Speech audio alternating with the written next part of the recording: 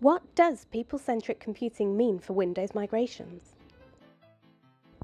When migrating to a new version of Windows, you have to migrate each unique user and their policy and personalization settings. You therefore must transfer all existing policy, data, apps and personalization to the new Windows environment separately. Unfortunately, without the AppSense software, this would normally be done one by one with manual intervention. So you migrate each environment for each user, which is time consuming for IT and causes downtime for the user. Also, it does not provide the ability for users to move between operating systems. It's a one-hit migration with no backwards compatibility. Virtual desktops and tablets will probably mean another migration. Effectively, you are creating multiple environments that need to be managed separately for each user. Then what about Windows 8?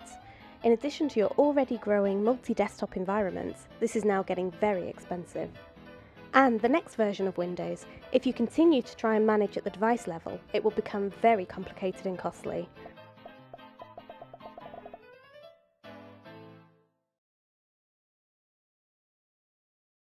Why not take a proven approach to Windows migrations and prepare yourself for all future migrations too?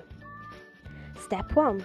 AppSense automatically separates user policy, personalization, and user installed apps from all other apps, the operating system, and their devices. Step 2. AppSense stores this user information separately in AppSense User Virtualization technology. This means you can automatically reapply the user to any new desktop operating system for quick, easy, cost-effective, seamless migration. And the same for Windows 8. And what about future Windows platforms? It doesn't matter either. With AppSense people-centric computing, you never need to migrate users again, as they're already separated and managed independently. Simply swap out the operating system and AppSense will automatically apply the user on demand.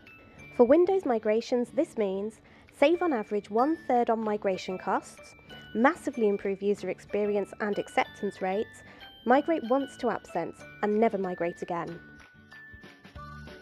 Forrester research state average savings of $1.23 million per migration when AppSense technologies are used. This approach is also device and delivery platform independent, so you don't have to change anything to adopt new technology.